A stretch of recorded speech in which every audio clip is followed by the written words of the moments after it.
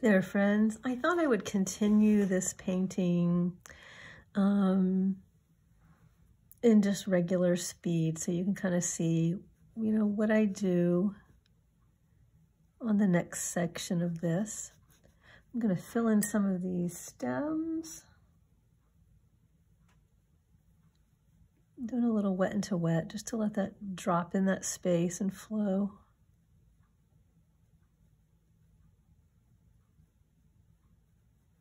Using a fairly small brush with a good point. It's not too horribly tiny, but it's kind of small. Let's see, let's just drop that in, just wet on dry.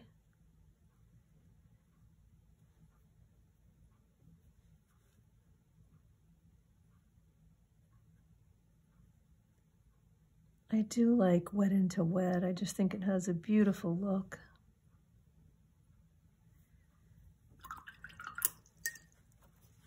Let's get some of these lavender colors going. Re-wet some paint I had the other day. Add a little water to it. And this one I am going to do wet into wet.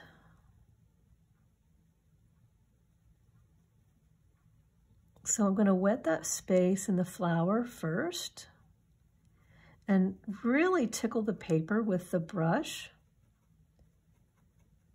And I want to be able to see a sheen on the paper. I don't want big hunky puddles like I just made a big puddle. So I'm going to try to slurp that up with a little bit of a thirsty brush. Just tap it into my paper towel. Then let's start dropping in some of this. This nice purpley color.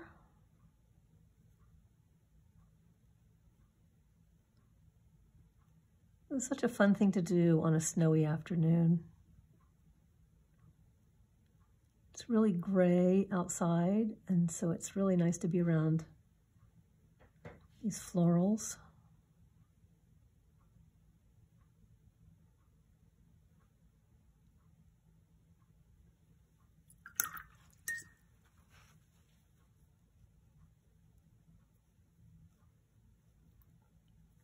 So these paintings that, um, you know, I've drawn from life, I have an arrangement that I buy, you know, I purchase the flowers and arrange it. And, and I do photograph my arrangements just so I have them later because the, you know, the flowers only last maybe a week. And, you know, maybe I will get around to painting it like right away, or maybe it'll take a while to get back to. So this um, this little place needs a little more water. The heat's been running like crazy today, and so the air in here is really dry. So when the air in your environment is dry, um, your paint's going to dry up really quick. Maybe quicker than you want.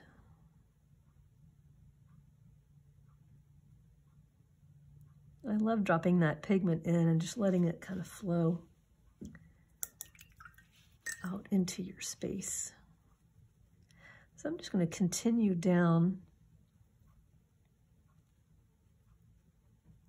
If you've ever noticed, you know, snapdragons on a stem, and other blossoms do this as well, the ones near the top are kind of softer and they there's a little more green in them before the buds totally open.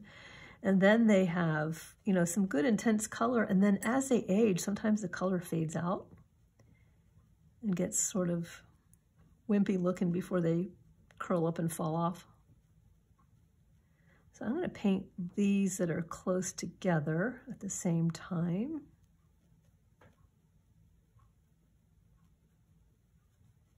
So I'm really tickling the paper. I don't know if you can hear the brush. But I'm really tickling that the surface of that paper with the brush so that the water will really go into that paper.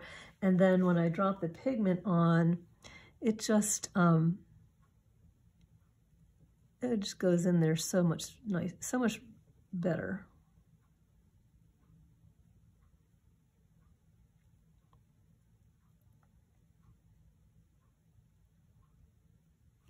And if I want to lighten one area, I can do that. Just kind of go in with a thirsty brush and pull it out. Or maybe I want to darken another area, so I'll grab some more of that purpley pigment and just drop it in a certain area.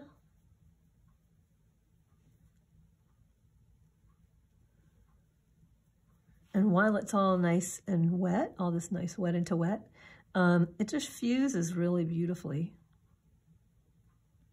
You have these really pretty soft edges, and I like that. So let's go in here with some clean water on this little next blossom.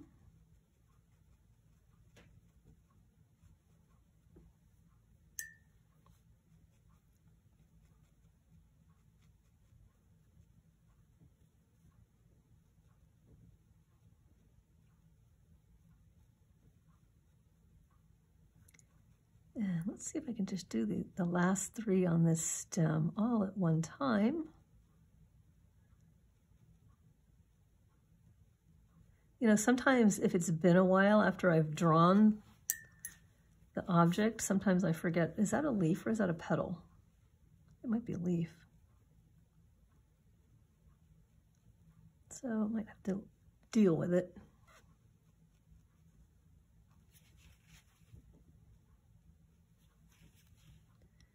All right, so I can, I don't know if you can see a sheen on there, but I've got um, just a right amount of water. Let's drop my purple pigment.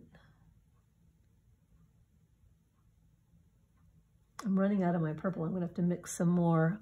Um, I used cobalt blue and a little quinacridone rose for this, and it's such a pretty purple.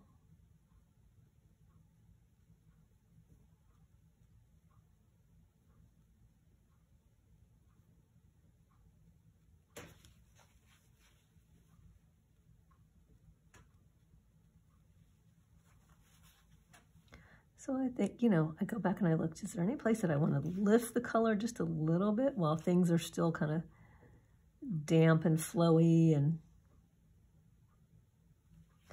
super easy to change. And is there anything I want to drop in a little bit of extra pigment? I'll put it in the throat of that flower. There we go. And then when that's all dry, I'll come back and do the stem. So I don't have things bleeding into each other. Now let's see, let's go and do this lily over here. I'm gonna just turn this upside down so I can reach this part of the paper easily. Get these out of here. And let's go to a little bit bigger brush.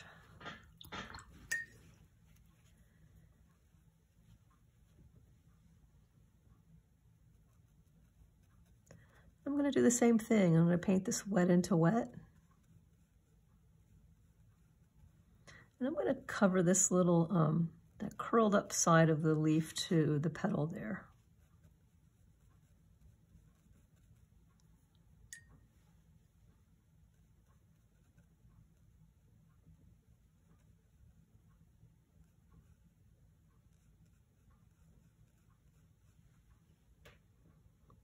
Do this side as well.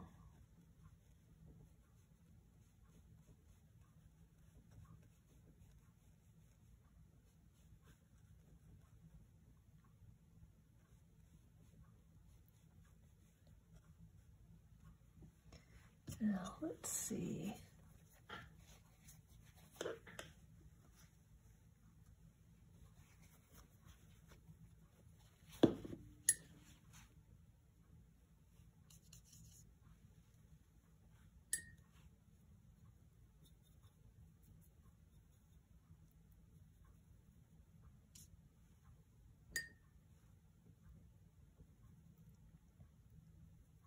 So I have um, a pink that I'm going to mix up with a little bit of quinacridone magenta and some um, Jaune Brilliant, which is like a, it's an opaque color, the Jaune Brilliant is. It's um, Jaune is yellow in French.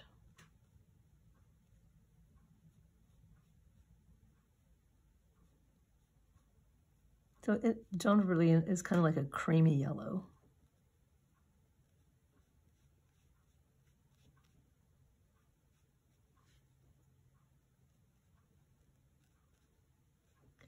And it just tones down this brilliant pink a lot. But it's still really pretty. And now I want to try just bringing in just some of that just plain quinacridone magenta right on the edge. So it's a little bit darker. Just want, I just want a tiny bit of contrast. Let's see how that see how that looks. And if it, you know, bleeds into that, I'm okay with that. When that, when those two dry, when, yeah, when those two dry, then I can come back and do these other ones. So let's see what else is around that I can work on. Uh, I like um, having these, you know, not, uh, there's certain things that I do want to fuse together and then other things that I really want to keep apart from each other.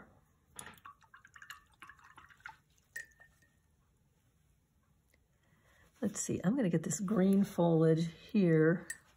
Get another water cup. Let me mix up what I think I might want.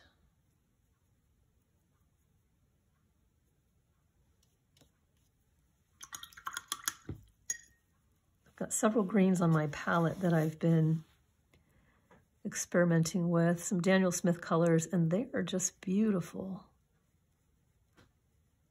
I don't have them on my travel palette because I don't need them all, but when I'm working in the studio on something, you know, I, I like to have like to have a little variety, and these things are so beautiful to play with.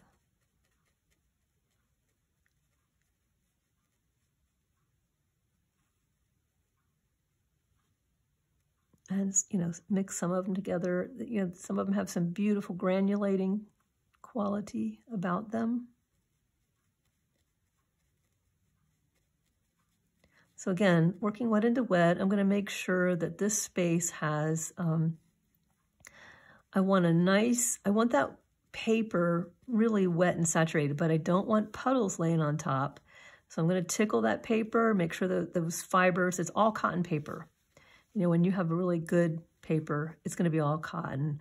Wood pulp does not, you know, and it's going to say, if it's cotton, it'll say on there. If it's wood pulp, it's not going to tell you anything. It might say acid-free or whatever, but it doesn't mean it's cotton, and it's only cotton if it says 100% cotton. And the cotton is king. It's the best paper. It just absorbs your paint in a lovely, lovely way. And wood pulp just can't do that. It's not its fault. It's just how it is.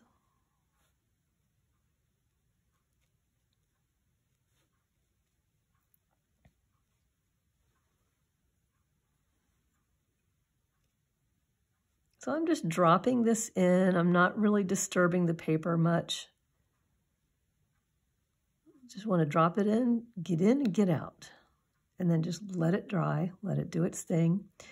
Um, as the paint dries, it's going to lighten a little bit and it's going to settle into the um, spaces of that paper in such a beautiful way. Let's get this leaf that's behind there and that, that'll make these lighter blossoms really pop. This one, I this leaf I don't want to touch until I know that pink is dry because I don't want those bleeding together.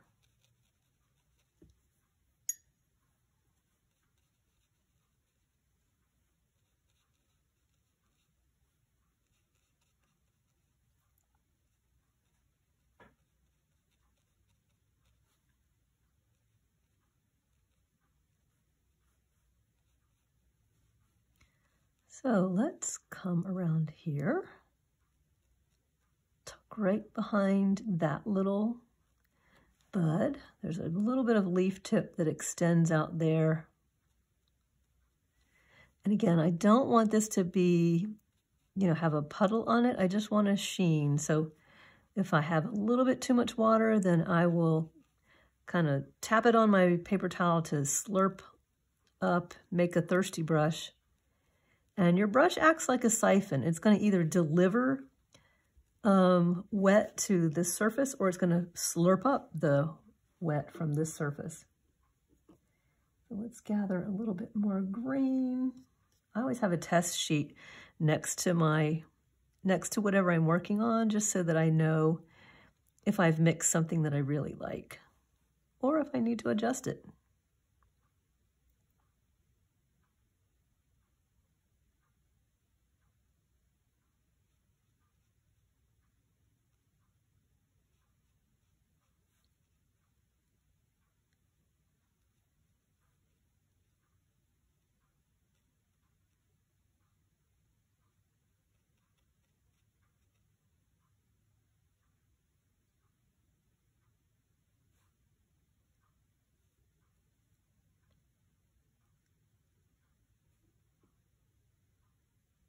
And I'm so glad this brush has a tiny little point.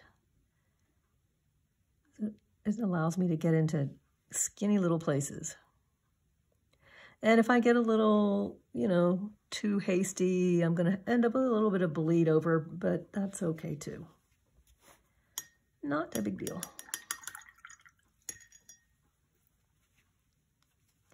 So let's continue down this little branch of flowers. I'm going to go in with a pretty skinny brush. Let's add some more of that stem. And I'm always wiping off any little beads of water that, um, sheesh, that kind of gather on the ferrule of the brush because I don't want them dripping into spaces that where I don't want them can have all this nice painted surface going and then something drips off the side of your brush here and oh gosh, what a mess.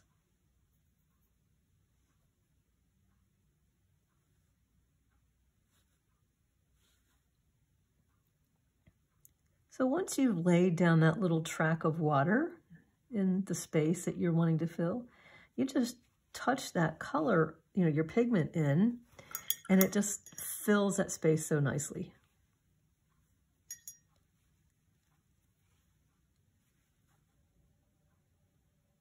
And it's funny, being a, um, oops, I really went over the lines there.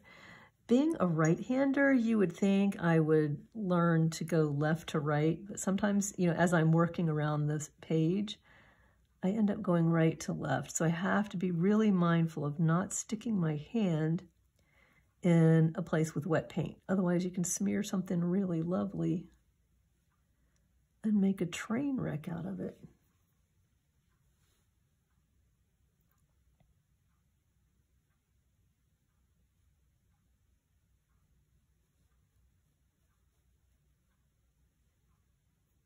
And it's so fun to see these stems just growing.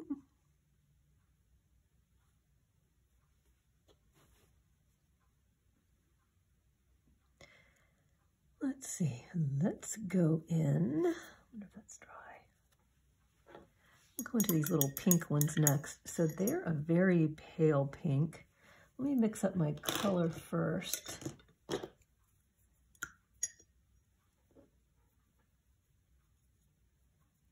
So that one I have a lot of Jaune Brilliant, Brilliant,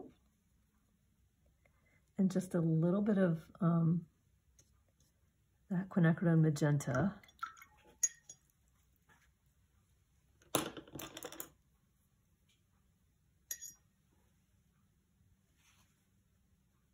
Oops. Sheesh.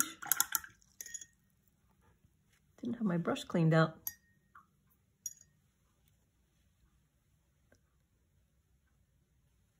See if I can lift some of that other color.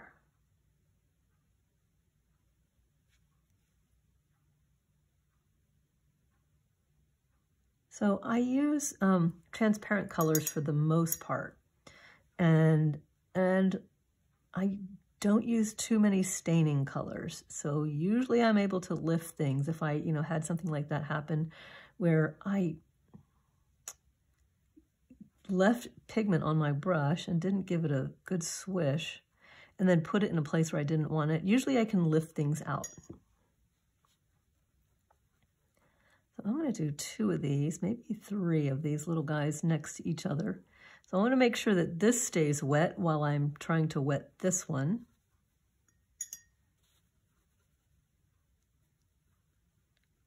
And again, I don't want um, a big puddle on there, but I don't want it to dry out on me either. So I'm looking for just a sheen. So I'm really tickling that surface of the paper with my brush so I can get those, um, get this water into the fibers of the paper. And then it's ready to pull in this um, pigment that I'm going to drop in next.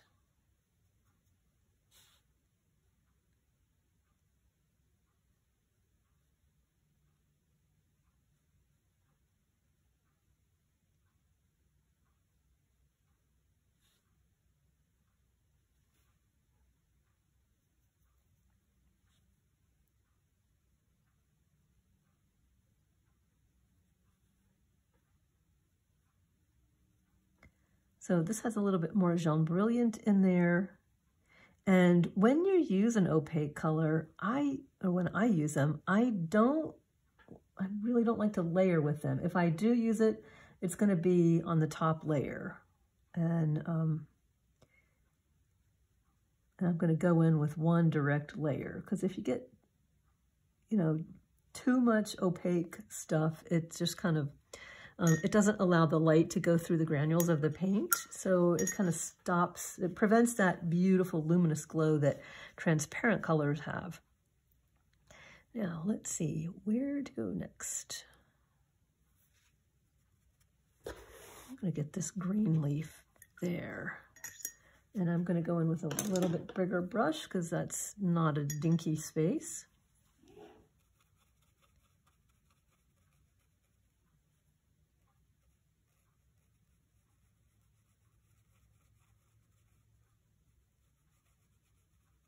So sometimes, you know, I might just have 10 or 20 minutes to spend on a painting, you know, at, at a certain time in the day. You know, maybe you've got errands, maybe you've got, you know, a Zoom call for something else. Um, but I try to fit in painting wherever I can. Um, I love having longer blocks of time, but sometimes, you know, it just doesn't work out, you know, that way for you to get long blocks of time in. So you take what you can get, make it work. And this type of drawing, you know, or this type of painting where you are doing just one segment at a time, you know, it lends itself to that process really well. You know, certain types of painting, you have to kind of, it's alla prima, all at once. You got to do it all in one go. And those are lovely too. It's just a different way of working. drop in a little bit darker near here. And then I want to drop in a little more, a little bit lighter color on the upper side. Let's see. I just love, I just want to play around with it. See what I can come up with. I'm going to extend that dark up just a little bit.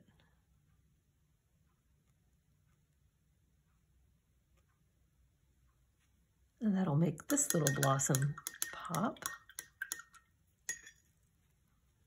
And let's go for this one next. I, I can see a little space where I need to complete an edge. So let me do that first. Complete this leaf behind here.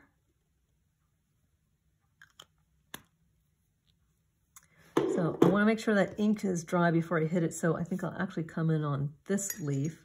This one's not a petal, it's actually a leaf that's behind the petals.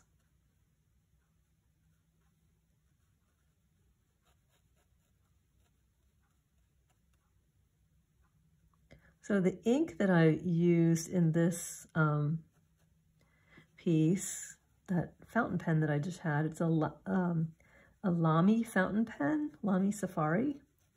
And in it, I use um, document ink.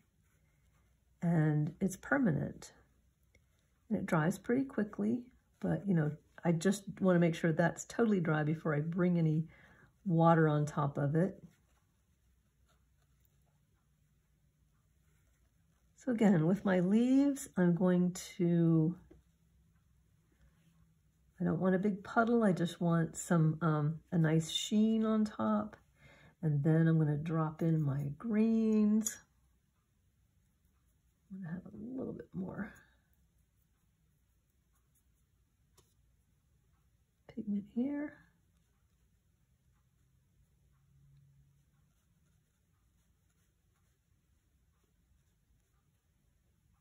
A little bit more dark right in here.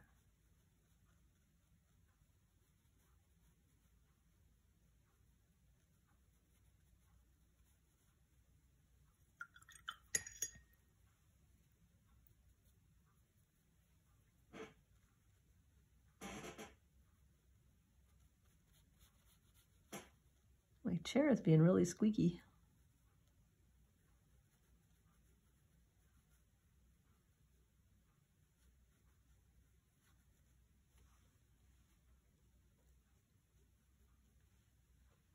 So if I ever feel like my brush is a little bit too wet or I'm carrying too much fluid in here, I just tap it on, tap it on this paper towel.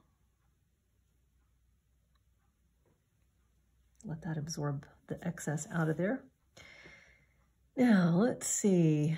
I think what I'm going to do next, I might come back and these petals are feeling dry, so let's go back to the lily.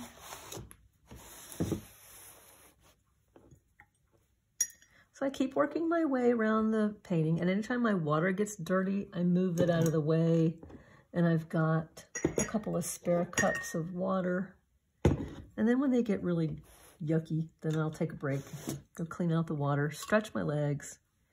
You know, if you sit a long time, you're just, everything goes numb. I have found during COVID with all this, all the time that we're spending at um, the computer, oh my gosh, you really have to take some mindful breaks and get yourself up away from that screen. Give your eyes a break, give your legs and the back a break. Okay, I'm going to paint that petal. And look at these. Okay, one, two, three, four, five.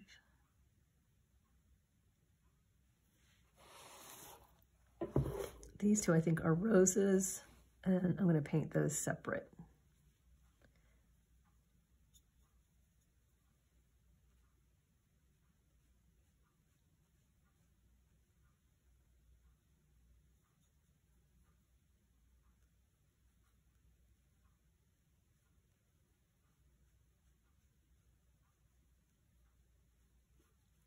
And here's something to be mindful of as well. Um, I use the same colors on my big palette here, so I know, you know, I don't have to go searching through a bunch of tubes. It's, it's laid out on this palette, and I use the same colors.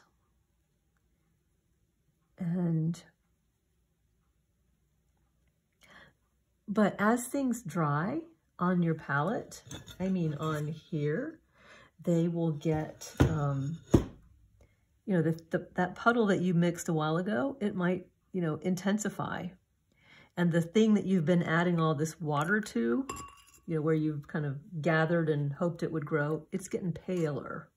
So you have to be, you know, thoughtful of, you know, what is that mix that you're trying to pick up?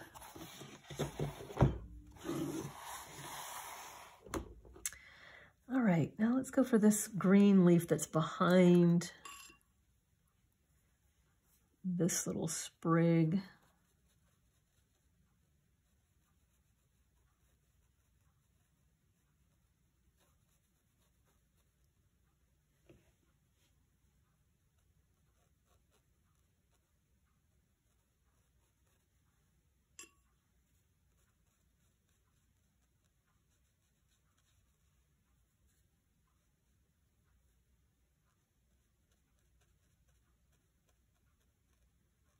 Paint around those blossoms and then paint around that little stem. And I'm going to get this little spot too. A little bit of the purple bled in there because I originally thought it was a um, part of the flower, but it's actually part of the leaflets.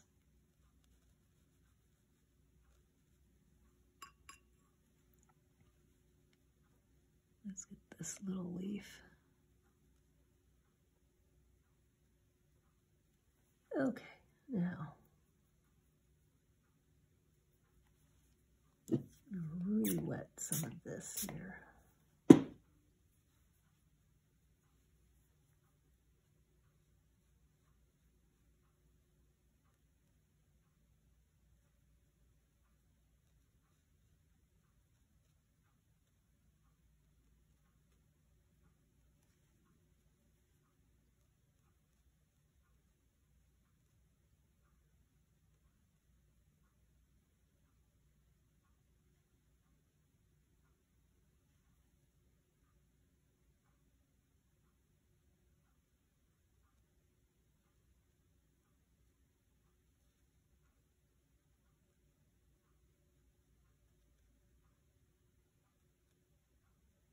Now, to pick up some of this darker color and drop some of that in.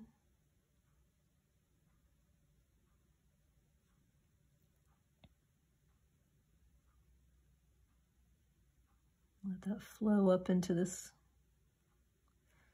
lighter space.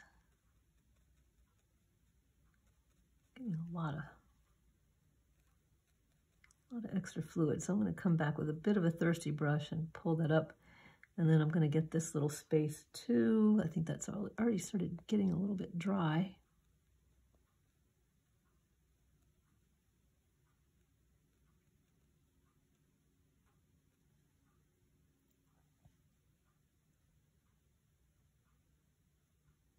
And then I'm going to wait for that to totally dry before I add that stem, which I've left white for right now.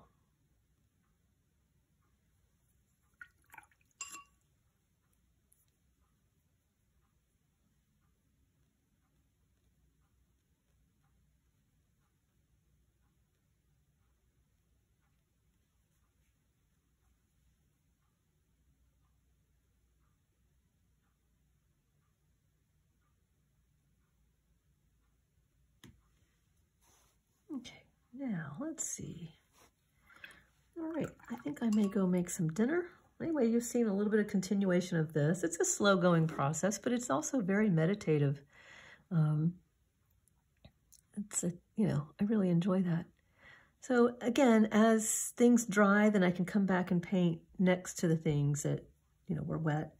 Um, I've got some, some of these spaces in here, I'm need to think about how I want to present them. They're um, big hydrangeas in, in white. And a lot of times in that white, there's some green and a little bit of pale yellow. So um, I want to think about how I want to mix that in. And I may end up doing that next. Um, so we'll see. We'll see how this develops. Thanks for watching in. Bye.